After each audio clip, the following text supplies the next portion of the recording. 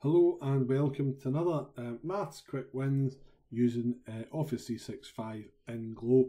Uh, this time I'm using Excel and if you got, uh, always remember to title your workbook, so uh, plants growth. Um, so linking up perhaps a little bit of science, we're looking at different plants here and seeing how much they have grown. So um, plant name, we're going to have one.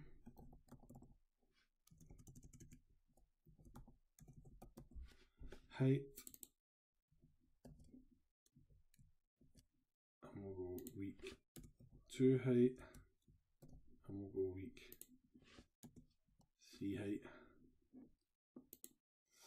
So let's have the tomato, tomato plant, the butter cup and the sunflower.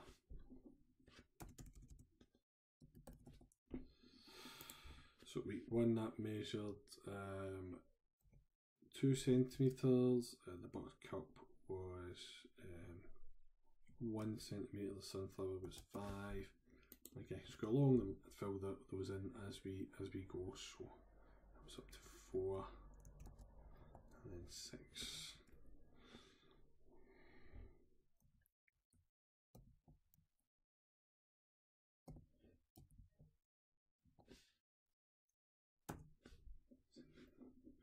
So once you've created your data there, um, just in terms of appearance, you double click on those wee uh, the column guidelines that will just expand it so that any text fits in the column, which makes it a wee bit easier to look at sometimes.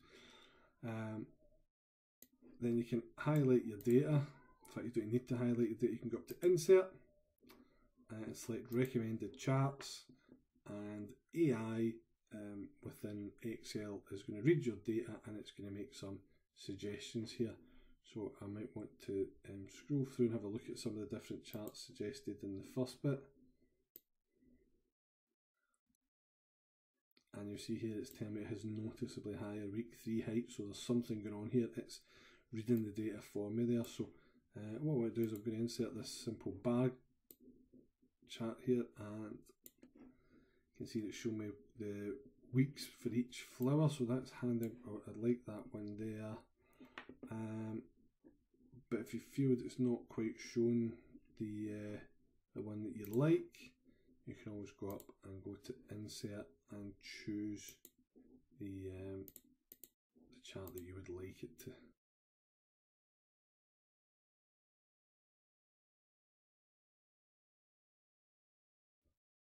And there we go you've got your data and you've got two different um, charts and graphs to show how that is represented there. Hope that was useful. Thanks so much for joining us.